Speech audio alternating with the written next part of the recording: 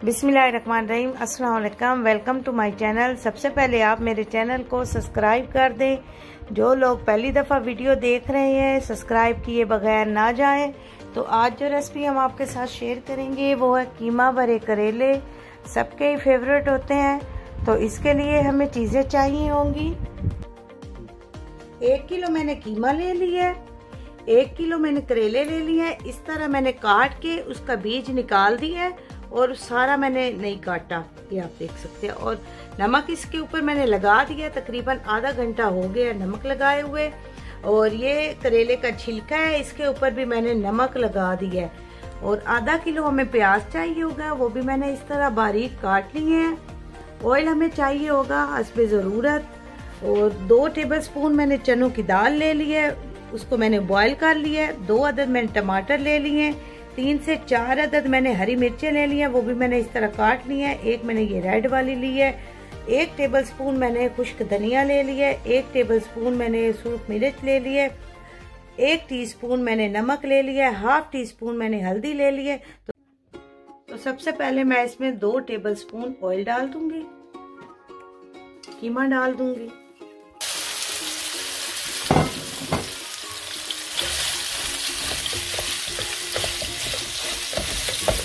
कीमे का थोड़ा सा बस हम कलर चेंज करेंगे। कीमे का कलर चेंज हो गया अब मैं इसमें थोड़े से प्याज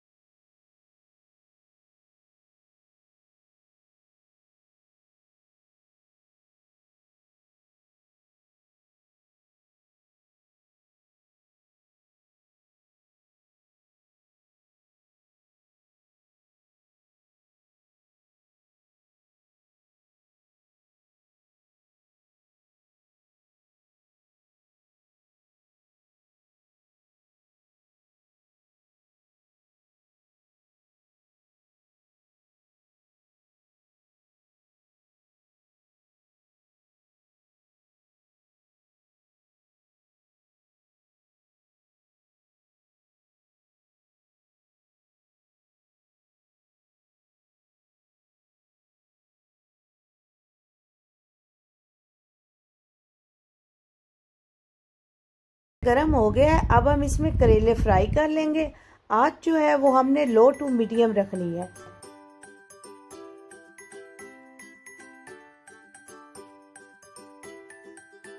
अब हम इसकी साइड चेंज कर लेंगे।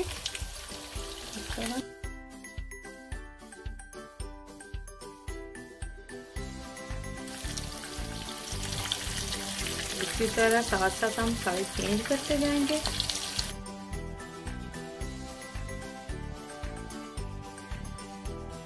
ये फ्राई हो गया सारे हम इसी तरह फ्राई करके निकाल लेंगे।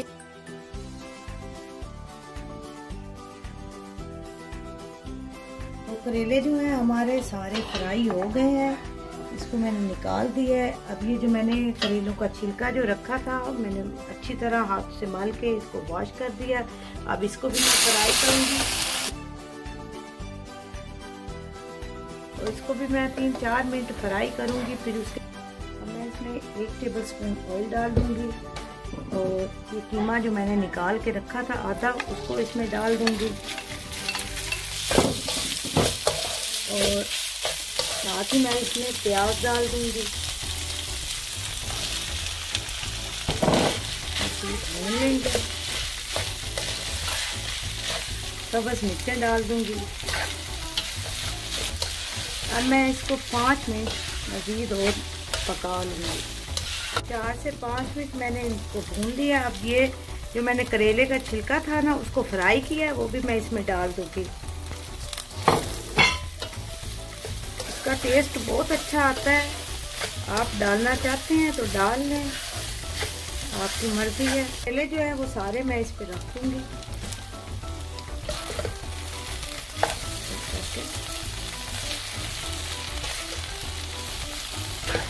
इस तरह मैंने हल्के हाथ से इनको मिक्स कर दिया। हल्की आँच पे पाँच मिनट के लिए दम पे रख दूँ पाँच मिनट हो गए। इनको निकाल लेते हैं। बहुत ही मज़ेदार खुशबू आ रही है। तो लीजिए, बहुत ही मज़ेदार करेले जो है हमारे, वो तैयार हो गए हैं। मैंने सात तंदूर की रोटियाँ बनाई हैं। तो आपको मैं एक करेले का धागा निकाल के दिखाती हूँ। देखें कितनी आसानी से निकल आया जिस करेले की मैंने सिलाई की थी। तो ये देखें, अंदर जो कीमा हमने भरा था, उसका टेस्ट और होता है और जो बाहर है, उसका और होता है। आप भी इसी तरीके से बनाएँ। तो वीडियो अगर आपको अच्छी लगी है लाइक करें, दोस्तों के साथ शेयर करें। इसी के साथ मैं इजाज़त चाहती हूँ। अल्लाह हाफिज़।